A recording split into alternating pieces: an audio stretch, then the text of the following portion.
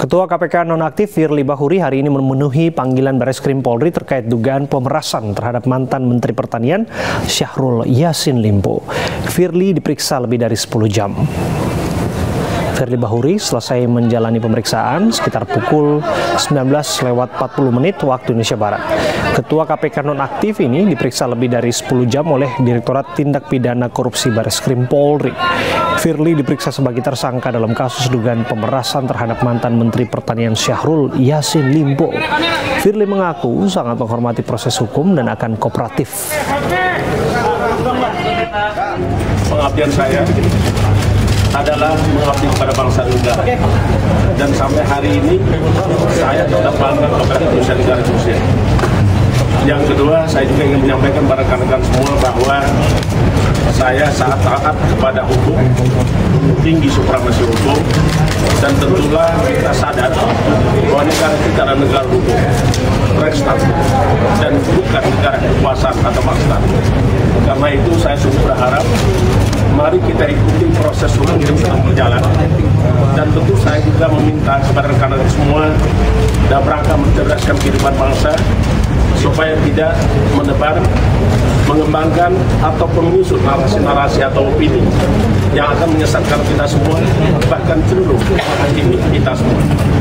Yang ketiga, saya juga ingin menyampaikan kepada rekan-rekan semua, saya sangat apresiasi atas kehadiran serta perhatian seperti apa pemeriksaan Ketua KPK nonaktif Firly Bahuri yang sudah selesai di Baris Krim Polri? Kita akan tanyakan kepada rekan kami Helmi Sajangbati dari gedung Baris Krim Polri. Selamat malam Helmi. Apa saja pertanyaan yang diarahkan kepada Firly? Apa-apa saja hal yang didalami oleh penyidik? Selamat malam Abraham dan juga pemirsa Ainun. Sampaikan untuk pemeriksaan uh, tersangka kasus dugaan pemerasan terhadap mantan Menteri Pertanian uh, Syahrul Yassin Limpo yaitu Firly Bahuri uh, sudah selesai sejak malam tadi sekitar pukul 19.40. Adapun materi pemeriksaan tidak disampaikan ke, kepada awak media yang sempat mewawancarai Firly Bahuri setelah diperiksa oleh Pak Abraham. Ya, Helmi, apakah ada pengamanan khusus uh, saat pemeriksaan atau barangkali ada hal-hal yang dalam tanda kutip ya yang tidak uh, tersampaikan secara utuh kepada publik? Ya, untuk pengamanan dari